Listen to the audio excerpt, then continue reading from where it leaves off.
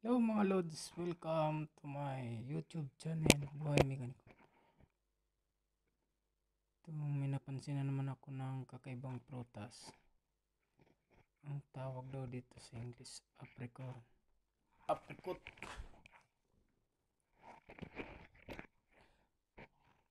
Tawag nito sa English, apricot.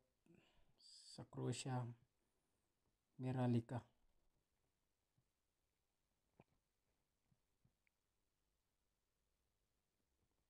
Yan mga lods.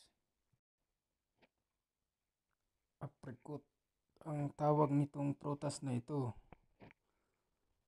sa Croatia, Marilica. Yan. Kala ko bayabas.